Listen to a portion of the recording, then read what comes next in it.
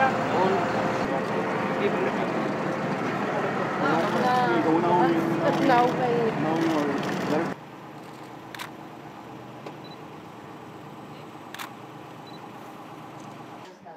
el teniente enfermero, la comandante intensivista, la comandante enfermera. Está compuesta por cuatro camas, bueno, Juca, explícale tú, tú, tú respiradores como en España, como los que tenemos en Ni siquiera tenemos en España, eso sí que lo tenemos.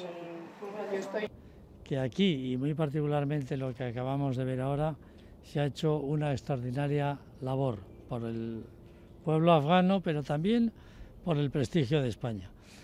Yo no quiero decir muchas más cosas porque quien tiene que hablar es la vicepresidenta y lo único, querida vicepresidenta, es reiterarte que te doy las gracias por haber aceptado venir a, este trozo de España que es la base de Herat. ¿eh? La verdad es que está siendo una experiencia muy importante porque nos está permitiendo comprobar eh, cómo sobre el terreno eh, los españoles, las Fuerzas Armadas españolas, eh, ha logrado ganarse un afecto con su trabajo, con su solidaridad, con eh, digamos una entrega muy intensa en esta zona.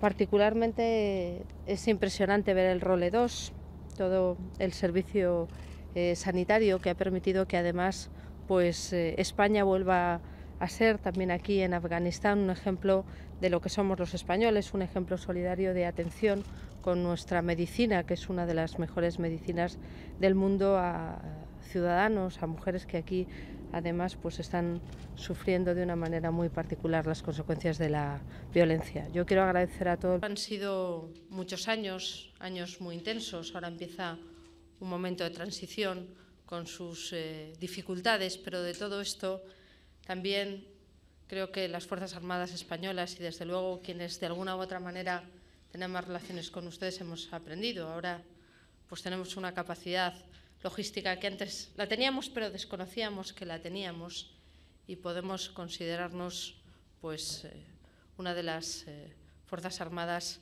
mejores, mejor instruidas y con mayor capacidad de todos los tiempos.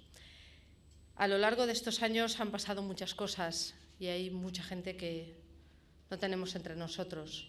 Pero hay algo que es importante y es que nuestros valores democráticos, los valores de los españoles, nuestra capacidad de superación, de solidaridad, de entrega, de hacernos entender y de entender también cómo viven y cómo piensan en otros sitios, eso quedará siempre aquí, en Herat. Y yo creo que esa es una excelente aportación de lo que España puede hacer en el mundo.